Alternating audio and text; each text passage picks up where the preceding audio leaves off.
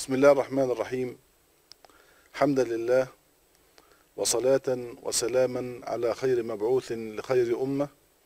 سيدنا محمد رسول الله وعلى آله وأصحابه وأتباعه ومن والاه إلى يوم أن نلقاه وبعد. أيها الإخوة الأعزاء نجدد معكم اللقاء حول مادة العقيدة الإسلامية.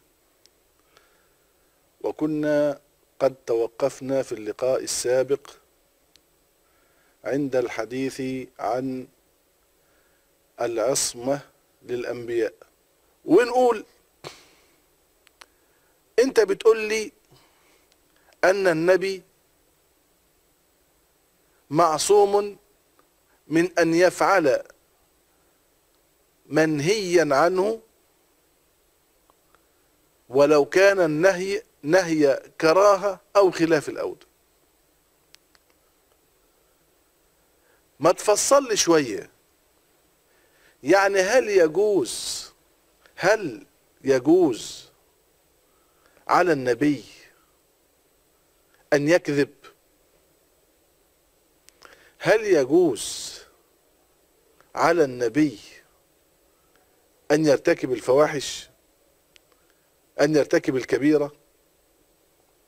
طيب ما أنا عندي المنهي عنه درجات. فهل هو من فهل هو معصوم من كل درجات المنهي عنه؟ تعالوا نشوف.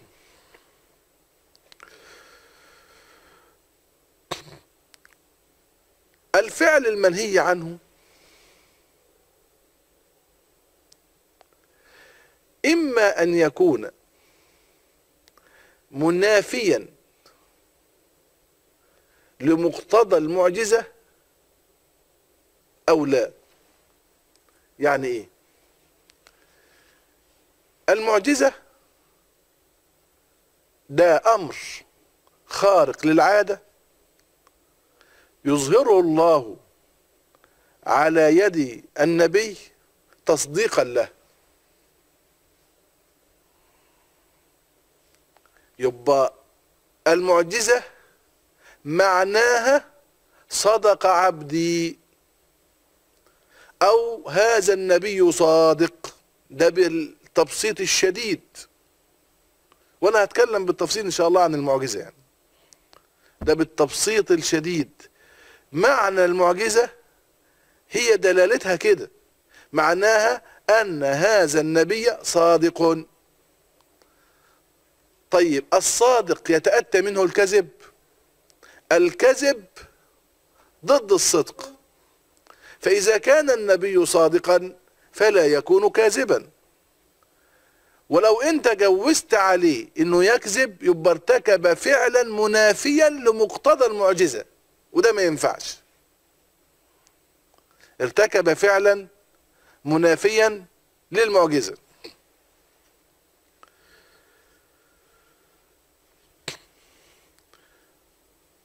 لذلك قال وما يتوهم صدوره من الأنبياء من المنهيات وما يتوهم يعني من باب الوهم مش من باب الحقيقة. وما يتوهم صدوره من الأنبياء من المنهيات إما أن يكون منافيا لما تقتضيه المعجزة وهو صدق الرسول في دعوى الرسالة وتبليغ الأحكام.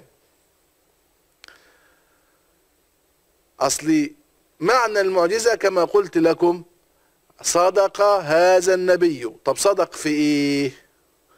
صدق في أمرين في إنه نبي وإن الأحكام دي جاية من عند ربنا سبحانه وتعالى.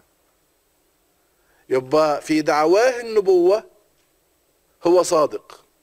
وفي تبليغ الأحكام الشرعية هو صادق. طب إيه اللي خلاني حكمت بصدقه؟ المعجزة. لأن المعجزة هي المعجزة معناها كده. معناها أن النبي صادق في دعواه النبوة وصادق في تبليغ الأحكام. طب لو جاز عليه الكذب؟ يبقى ارتكب فعلا منافيا لمقتضيات العصمة وهو دعوى النبوة وتبليغ الأحكام. وهذا لا يكون. يبقى مرة تانية. ما يتوهم صدوره من الأنبياء من المنهيات إما أن يكون منافيا لما تقتضيه المعجزة وهو صدق الرسول في دعوى الرسالة وتبليغ الأحكام أو لا. يعني هذا المنهي إما أن يكون منافيا لمقتضيات المعجزة وإما ألا يكون منافيا لمقتضيات المعجزة. يعني هو هي هو منهي عنه صحيح لكن ليس من مقتضيات المعجزة. من مقتضيات المعجزة الصدق في حاجتين. في دعوى النبوة وفي تبليغ الأحكام. طيب. ما يكون منافيا لما تقتضيه المعجزة هو الكذب. يبقى الكذب الشيء الوحيد الذي ينافي مقتضى المعجزة. طب ليه؟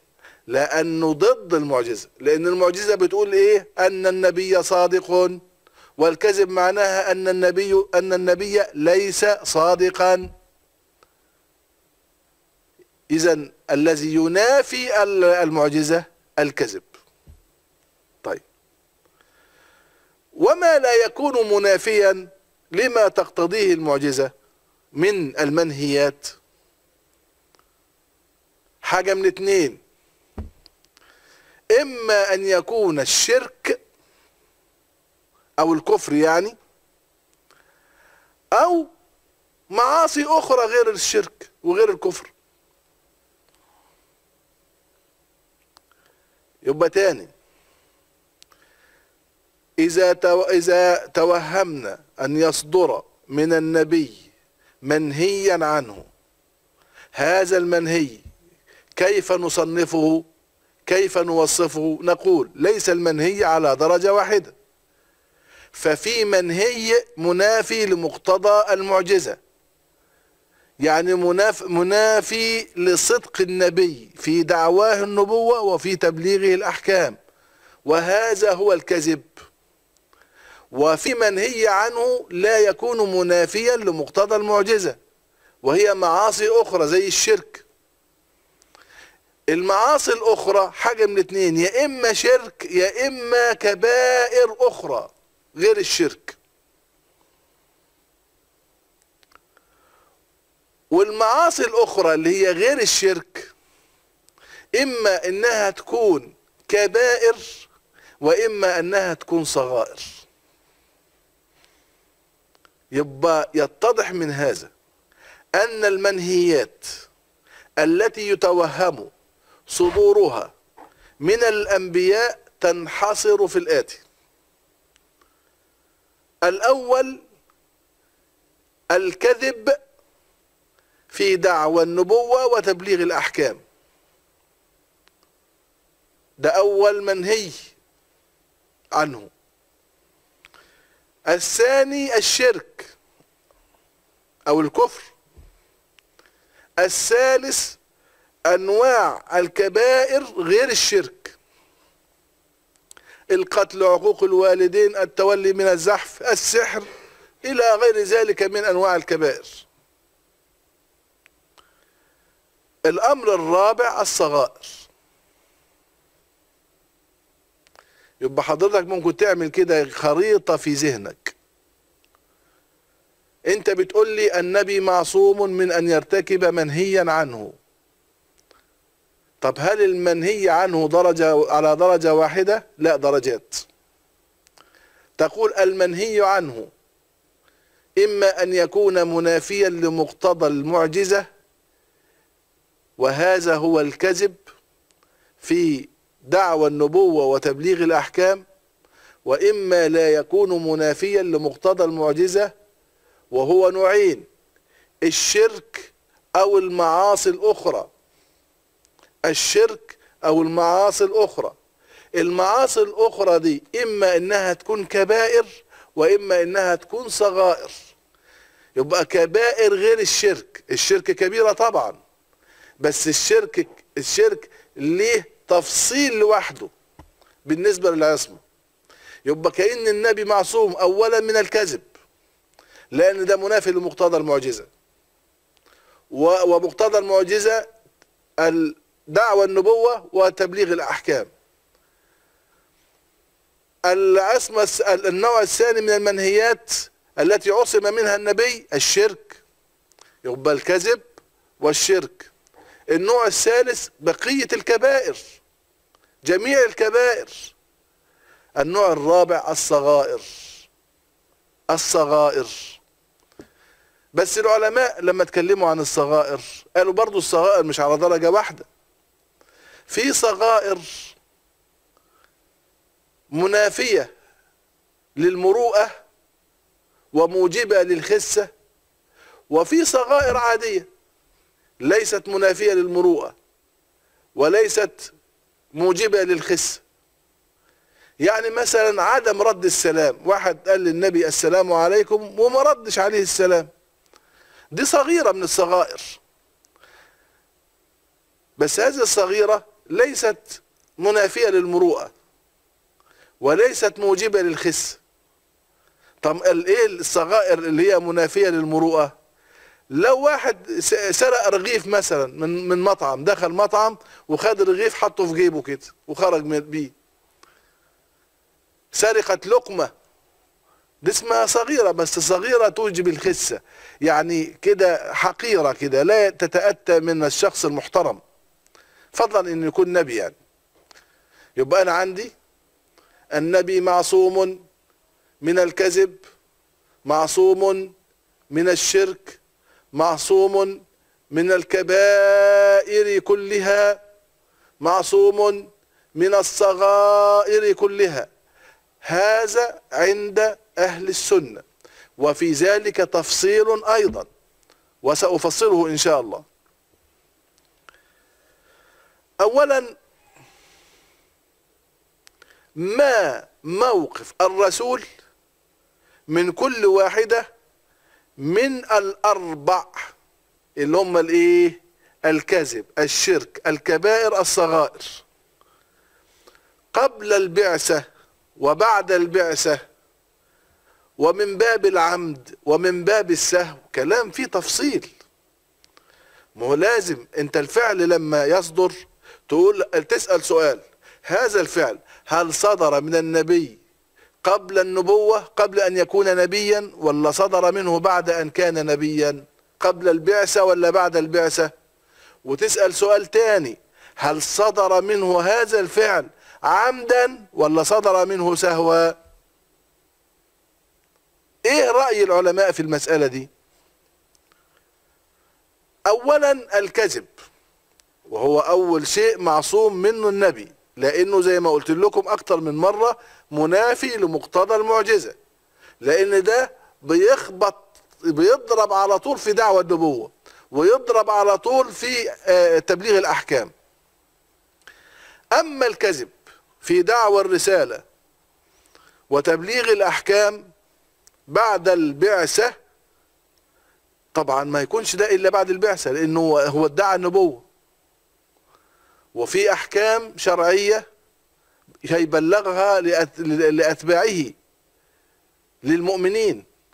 هذا لا يكون إلا بعد البعثة هذا ليس معناه أن النبي يجوز عليه الكذب قبل البعثة لا النبي معصوم من الكذب قبل البعثة وبعد البعثة عمدا وسهوا. لكن هنا عندما أقول الكذب الذي هو منافي لمقتضى المعجزة لا يكون إلا بعد البعثة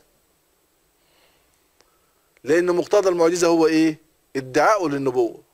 ومقتضى المعجزة هو إيه؟ تبليغ للأحكام. وهذا لا يكون إلا بعد أن يكون نبيا. يبقى أما الكذب في دعوى الرسالة وتبليغ الأحكام بعد البعثة حيث إن ذلك لا يتأتى قبل البعثة فيستحيل صدوره منهم عمدا أو سهوا يستحيل صدور الكذب الذي هو منافي لمقتضى المعجزة من الأنبياء سواء أكان عن طريق العمد أو كان عن طريق السهو. لأنه لو جاز الدليل أهو طب ليه حد يقول لي طب ليه ما يصدرش منه هذا الفعل؟ قالوا لأنه لو جاز عليهم في واحدة من هاتين اللي هم إيه؟ اللي هي دعوة الرسالة أو تبليغ الأحكام. حتى ولو سهوا لما كانت هناك ثقة فيما جاءوا به من شرائع. إزاي أنت هتثق فيه بعد كده؟ ده لو جه صاحبك أو صديقك أو ابنك وكذب عليك مرة في أمر ما. أنت هتقول له إزاي أصدقك بعد كده؟ وممكن يبقى صادق في أي أمر آخر أنت تشك. تقول لا ما أنت أصلك كذبت عليا قبل كده فأنا يعني مش قادر أصدقك بصراحة. فلو أن النبي جاز عليه أن يكذب في دعوى النبوة أو في تبليغ الأحكام مرة واحدة فقط لا فقدنا الثقة فيه في كل الأحكام التي يبلغها عن ربه.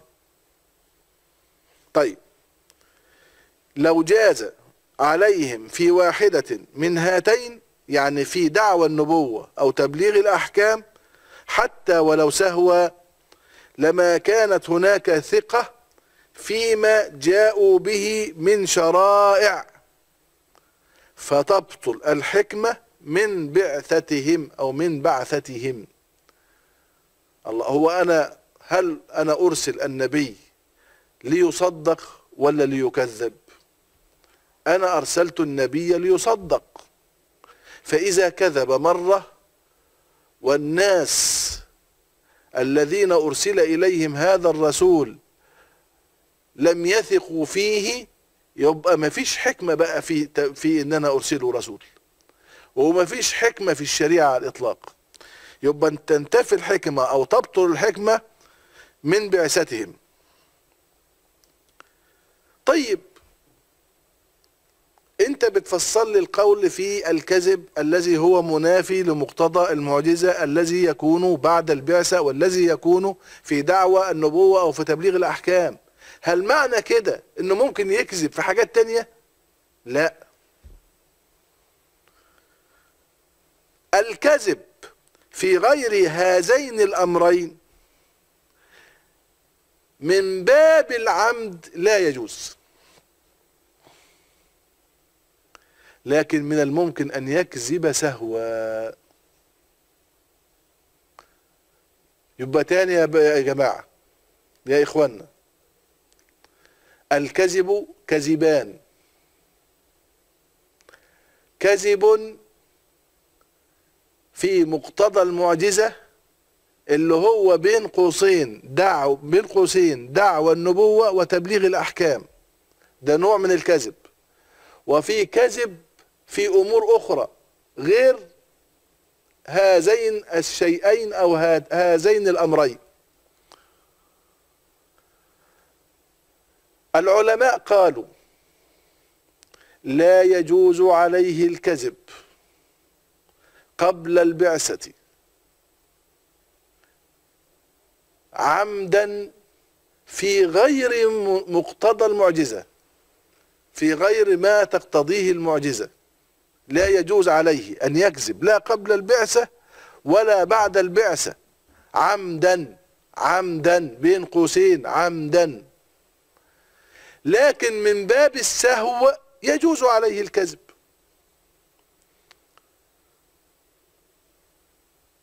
أما الكذب الذي ينافي مقتضى المعجزة يعني الكذب في دعوى النبوة وفي تبليغ الأحكام والذي لا يكون إلا بعد البعثة فهم معصومون منه بعد البعثة عمدا أو سهوا.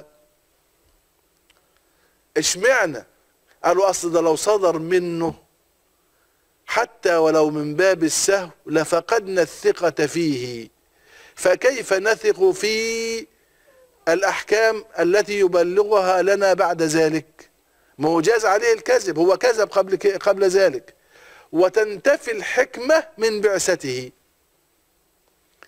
أما بقية الأمور الدنيوية مثلا هل يجوز للنبي أن يكذب فيها؟ قالوا عمدا لا. عمدا لا يمكن أن يتأتى الكذب من النبي عمدا سواء كان قبل البعثة أو بعد البعثة. طيب هل سهوا؟ ممكن. قال والله يجوز أن يقع منه سهوا. أما الكذب في غير هذين الأمرين فإنه يجوز سهوا ولا يجوز عمدا.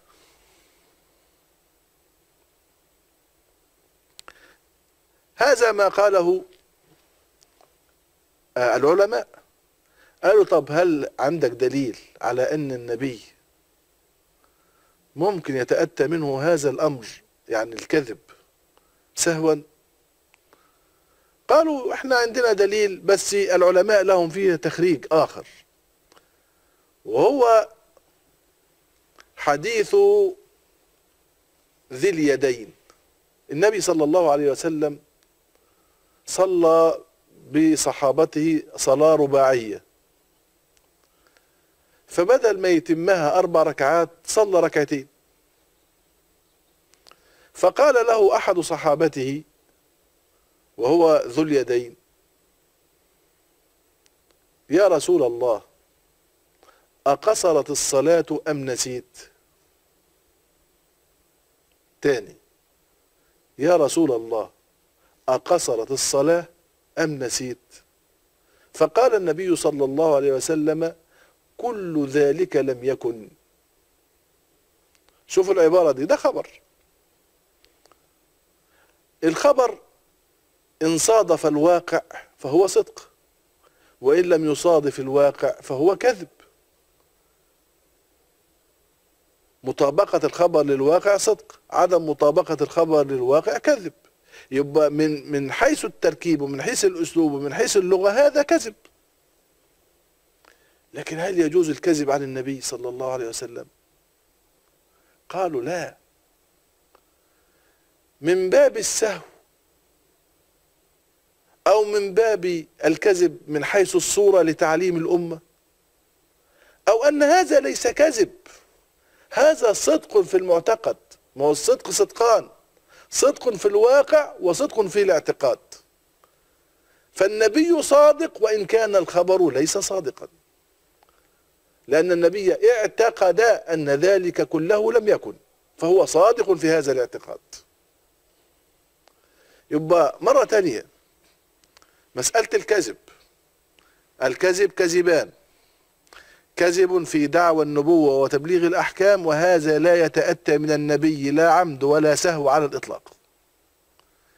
وكذب في أمور أخرى قال العلماء يجوز منهم ذلك من باب السهو فقط لا من باب العمد. فقالوا يجوز على الرسول أن يتحدث فيما يتعلق بأمور الدنيا مما لا يتحقق في الخارج يعني. ولا يتعلق أيضا بدعوى الرسالة أو تبليغ الأحكام. هذا مسألة الكذب أعتقد تم شرحها شرحا دقيقا يعني. ننتقل إلى النوع الثاني من المنهيات وهو الشرك. قبل الشرك أو مرة تانية. هل يجوز الكذب على الأنبياء؟ تقول الكذب نوعان كذب في دعوى الرسالة وتبليغ الأحكام وكذب في أمور الدنيا أو أمور أخرى. أما الكذب في دعوى النبوة وتبليغ الأحكام هذا لا يجوز من النبي عمدا ولا سهوا. حتى لا تفقد الثقة فيهم. وحتى لا تنتفي الحكمة من إرسالهم. أما الكذب في أمور أخرى فجوز العلماء ذلك منهم من باب السهو فقط لا من باب العمد. أي في الأمور التي لا تتعلق بدعوى النبوة ولا تتعلق بتبليغ الأحكام. النوع الثاني الشرك. قال العلماء لا يجوز صدور الشرك من الأنبياء لا قبل البعثة ولا بعدها لا عمدا ولا سهوا. الشرك. هم معصومين منه على طول الخط. لا يجوز على الأنبياء الشرك.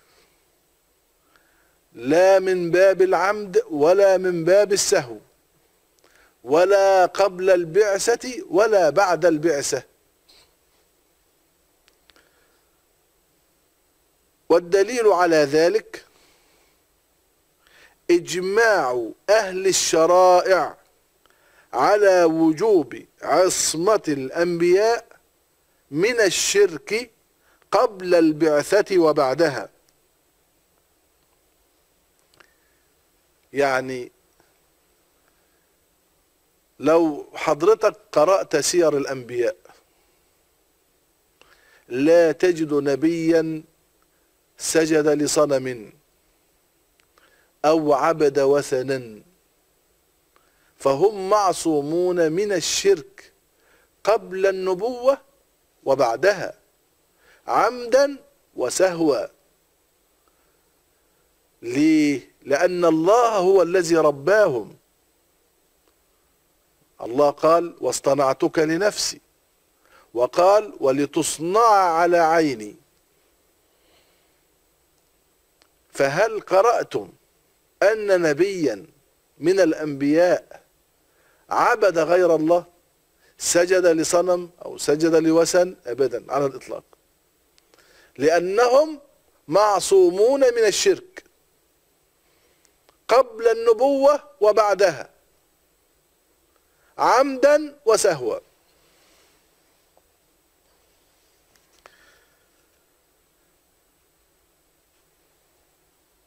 طب الكبائر الأخرى يبقى ده النوع الثاني. في كبائر أخرى. ما إحنا قلنا. المنهي عنه إما الكذب وإما الشرك وإما بقية الكبائر وإما الصغائر. طيب. الكبائر الأخرى غير الشرك نوعين. كبائر فيها خسة أو يترتب عليها نفرة. وكبائر ليس فيها خسة ولا يترتب عليها نفرة. يعني كبائر تشعر بالخسة وبالنفرة وكبائر لا تشعر بالخسة ولا بالنفرة. هو الكبائر برضو نوعين. هذان القسمان أي الكبائر جميع الكبائر ما يشعر بخسة وما لا يشعر بخسة؟ لا يجوز صدوره من النبي قبل البعثة وبعد البعثة لا عمدا ولا سهوا تاني. جميع الكبائر. الأنبياء معصومون منها. قبل البعثة وبعدها. عمدا وسهوا. سواء كانت هذه الكبائر تشعر بخسة أو توجب نفرة أو لا تشعر بخسة ولا توجب نفرة. طب تقول لنا تشعر بخسة ونفرة زي إيه يعني؟ يعني السرقة. السرقة كبيرة من الكبائر بس فيها خسة. طب النفرة زي الزنا شيء الطبع الإنساني ينفر منه. الحر لا يزني والحرة لا تزني. طيب. ال ال ال ال الذي لا يشعر بخسة ولا يعني يترتب عليه نفرة زي القتل مثلا. التولي من الزحف مثلا. هذه أمور لا يترتب عليها خسة ولا نفرة لكنها كبيرة من الكبائر. فالكبائر كلها هل ممكن تصدر من الأنبياء؟ قال لك لا. هذه الكبائر لا تصدر من الأنبياء لا قبل البعثة ولا بعدها ولا عمد ولا سهو. لكن بعض العلماء ده استدراك. بعض العلماء يعني علماء الكلام جوز صدور ما لا يشعر بخسة كالقتل مثلا قبل البعثة من الرسل أو الأنبياء. يعني هنا في بعض العلماء فصل. الرأي رأي الجمهور رأي العلماء جمهور العلماء قالوا أما الكبائر فالأنبياء معصومون منها جميعها قبل البعثة وبعد البعثة عمدا كان أو سهوا إلا أن القليل من العلماء أو بعض العلماء جوز صدور الكبائر التي لا توجب خسة ولا نفرة كالقتل مثلا من الأنبياء قبل البعثة. هذا الرأي الثاني مرجوح. مرجوح يعني إيه؟ غير معمول به. الراجح أنهم معصومون من الكبائر جميعها قبل النبوة وبعد النبوة. عمدا وسهوا. طيب وعلى هذا فالكبائر كلها مستحيلة على الرسل قبل البعثة وبعدها عمدا وسهوا على حد سواء. ما أشعر منها بخسة كالسرقة؟ وما أشعر بنفرة كالزنا أو ما لا يشعر بهذين كالقتل. طيب. ليه؟ السؤال على طول كده في الذهن. لماذا الأنبياء يكونون معصومين من الكبائر قبل البعثة وبعدها عمدا أو سهوا. قالوا لأنه لو جاز عليهم فعل الكبيرة ولو سهوا أو خطأ في التأويل لزم أن تكون الكبيرة مأمورا بفعلها. ما إحنا قلنا من البداية أن النبي ينبغي على أمته أن يتبعوه. فنحن مأمورون باتباع النبي واتبعوه لعلكم تهتدون. فلو جاز عليه أن يرتكب الكبيرة لكنا مأمورين باتباعه في هذا. فإذا سرق كانت السرقة سنة. وإذا زنى كانت زنا سنة. نتبع النبي فيها. والله لا يأمر بالفحشاء كما قلت لكم. إن الله لا يأمر بالفحشاء. فكيف يكون ذلك كذلك؟ طيب. فلو صدر عنهم فعل كبيرة ولو سهوا لكان فعلها طاعة مأمورا بها مع كونها من الفحشاء. والله لا يأمر بالفحشاء. فيكون فعلها مأمورا به وهو محال لأنه جمع بين النقيضين. كيف ينهاني عن الزنا ويأمرني باتباع النبي الذي يزني والعياذ بالله؟ كيف ينهاني عن السرقة في حين إن النبي الذي جاء النهي عن طريقه يسرق؟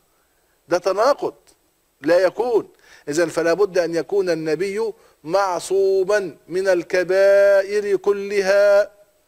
ما توجب ما يوجب الخس أو النفرة أو ما لا يوجب. عمدا كان أو سهوا قبل البعثة أو بعدها. طيب. تعالوا على الصغائر بقى.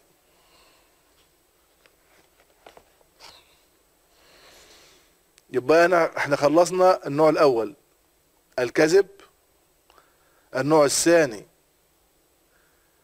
الشرك. النوع الثالث بقية الكبائر. باقي عندنا من المنهيات الصغائر. العلماء قالوا برضو الصغائر نوعين. صغائر تشعر بخسة وصغائر لا تشعر بخسة. الصغائر التي تشعر بخسة كسرقة أمر تافه كسرقة لقمة مثلا أو سرقة شيء لا يبلغ حد نصاب لا يبلغ نصاب السرقة حتى يقام عليه الحد يعني. فيستحيل صدوره من الرسول عمدا أو سهوا قبل البعثة وبعدها. لأن صدوره منهم يوجب النفرة منهم. والبعد عن الاقتداء بهم واتباعهم. خلاص أصبحت دي قاعدة. لو تأتى من النبي أن يرتكب هذه الصغيرة الخسيسة كأن يسرق لقمة مثلا أو أن يأتي بأمر تافه لا يبلغ نصاب السرقة التي توجب الحد. لو صدر منه هذا الأمر الخسيس لكنا مأمورين أن نكون مثله. وهذا لا يكون. ولذلك النبي معصوم من الصغائر التي توجب الخسة قبل النبوة وبعدها عمدا وسهوا. أما الصغائر التي لا تشعر بخسة كعدم إلقاء السلام على مسلم مرة مثلا فأصح الآراء أنهم معصومون منها عمدا بعد البعثة. وأما صدورها عن طريق السهو بعد البعثة أو قبل البعثة عمدا أو سهوا فجائز. النوع الأخير ده هو اللي فيه الاستثناء. إيه النوع الأخير؟ الصغائر التي لا توجب الخسه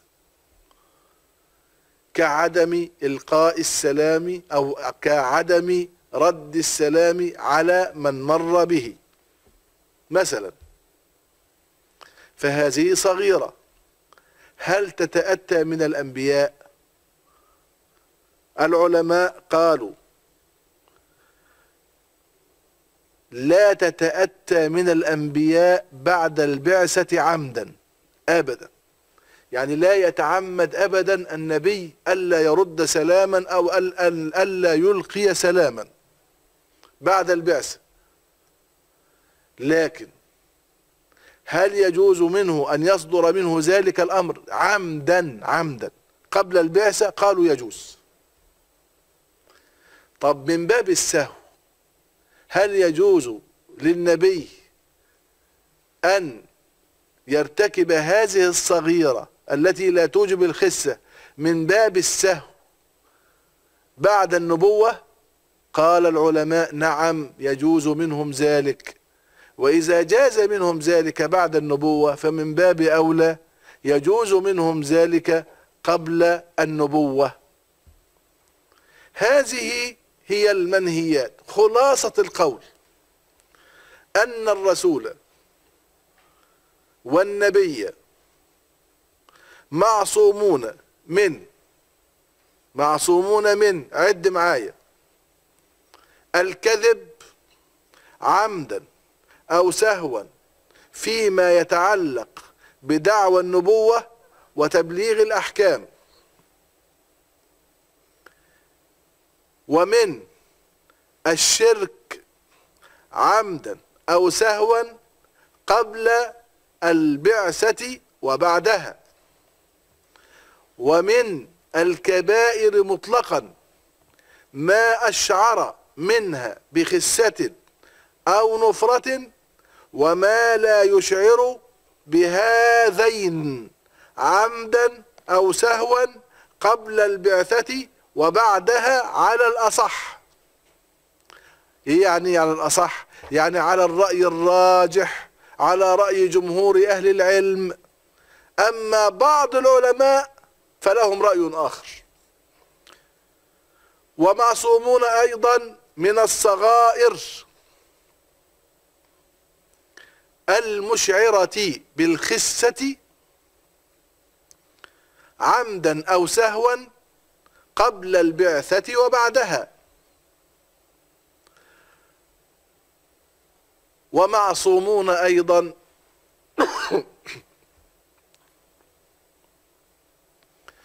من الصغائر غير المشعرة بالخسة عمدا بعد البعثة. أما قبلها فإن الصغيرة جائزة منهم عمدا أو سهوا وكذا بعد البعثة سهوا. وإلى هنا يتضح لنا مدى عصمة الأنبياء صلوات الله وسلامه عليهم أجمعين؟ بقي سؤال. أو شبهة. حد يجي يقول لك أنتم تقولون إن الأنبياء معصومون من ارتكاب منهي عنه. على درجات المنهي عنه كما فصلنا.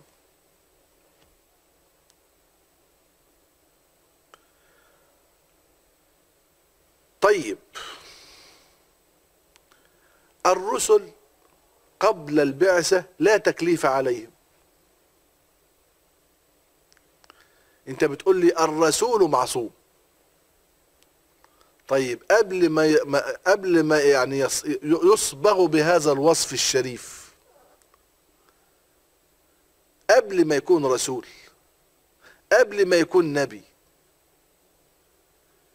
إزاي تقولوا عنه إنه كان معصوم؟ إنه معصوم؟ أليس في هذه الحالة كآحاد الناس؟ إحنا هنفترض جدلا إن كلامكم صح إن الأنبياء دول معصومين لكن يسوغ هذا بعد النبوة. أما قبل النبوة ما هم زيهم زي الناس. ليه يبقوا معصومين بقى؟ ليه أنتوا حكمتوا بعصمتهم قبل النبوة؟ تاني قد يقال إن الرسل قبل البعثة لا تكليف عليهم. ولا على أقوامهم. فلا تعرف الكبائر ولا الصغائر. فكيف يقال إن الكبائر ممتنعة عليهم قبل البعثة؟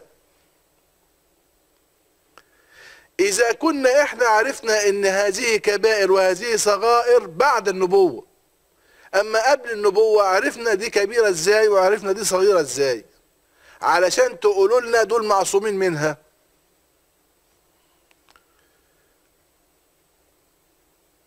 نقول لهم إيه رأيكم في الكفر والشرك؟ قالوا لا الكفر ده كبيرة حتى ولو الشرع ما قالش عنه كبيرة العقل يقول. الكفر بالله يعلم من العقل. وبالبداهة حتى قبل البعثة. لكن بقية الكبائر والصغائر كيف تعرف قبل البعثة؟ حتى يعصم الأنبياء منها وحتى يكون ارتكابها من النبيين مذموما. وصدورها منهم مؤدية لنفرة الناس منهم وبعد الناس عنهم. والجواب. إذا ما فيش خلاف بيننا وبينكم في مسألة الكفر. أنتوا قلتم اهو. الكفر ده ده كبيرة ورزيلة وفساد عظيم. يعرف ذلك بالشرع ويعرف ذلك بالعقل. فلا بد إن يكون النبي معصوم منه. أنتوا اعترفتم بهذا. نزاعنا معكم في الكبائر الأخرى غير الشرك أو غير الكفر. الكبائر غير الكفر وإن لم تعلم قبل البعثة فصدورها منهم من الأنبياء قبل البعثة مؤدي إلى نفرة الناس منهم اتباع يعني أتباعهم يتبعهم إزاي؟ وربما اتخذها بعض المعاندين منفذا للطعن فيهم. وأشاعوا في الناس المدعوين للإيمان بهؤلاء الرسل أن هؤلاء الرسل يحرمون عليكم اليوم ما كانوا هم يفعلونه بالأمس. عرفت لماذا الأنبياء لابد أن يكونوا معصومين من الكبائر ومن الصغائر التي توجب الخسه قبل النبوة؟ لأن النبي مش جاي لنفسه ده جاي علشان أتباعه علشان الناس تتبعه. طيب لو كان قبل النبوة بيرتكب الفواحش بيسرق وبيزني وبيقتل وبيشرب الخمر وفجأة كده يخرج علينا ويقول لنا أنا نبي وهذه معجزتي دليل صدقي وأنا بقول لكم الكذب حرام السرقة حرام الزنا حرام القتل حرام؟ أول كلمة هتتقال طيب يعني كده من باب أولى كنت قلت الكلام ده لنفسك. أنت جاي دلوقتي تقول لنا ده حرام ما كنت بتعمله ليه قبل كده؟ قبل ما تبقى نبي كنت بتعمله ليه؟ وبعدين جاي تنهانا عن خلق وأنت تأتيه. فعلشان الاقتداء بالنبي يظل ناصع البياض يظل سليما يظل كالثوب القشيب لابد أن يكون النبي معصوما من الكبائر قبل النبوة. لأنه هيبقى ليه شياطين من الإنس. وكذلك جعلنا لكل نبي عدوا. شياطين الإنس والجن يوحي بعضهم إلى بعض زخرف القول غرورا. هؤلاء ربما يجدون في عدم عصمتهم من الكبائر قبل النبوة ما يجعلهم حريصين على أن يصرفوا الناس عنهم بعد النبوة. يقول لهم إزاي أنتوا؟ هو النبي ده بيقول لكم ما تزنوش وهو كان بيعمل كده. هو النبي قال لكم ما تسرقوش. بيقول لكم الآن لا تسرقوا ولا تغلوا ولا تغلوا ولا تخونوا. وهو كان كذا وكذا وكذا. فحتى يحسن الاقتداء به لا بد أن يكون معصوما من الكبائر قبل النبوة ومن باب أولى هو معصوم منها بعد النبوة. هذا هو خلاصة الكلام في باب العصمة. نحن نتحدث معكم حديثا بسيطا سهلا ابتعدنا فيه عن الآراء والأدلة ووجوه الاستدلال إلى غير ذلك مما يطرح في علم الكلام. فهذا له مجال آخر ودراسات أخرى. أستودع الله دينكم والسلام عليكم ورحمة الله وبركاته.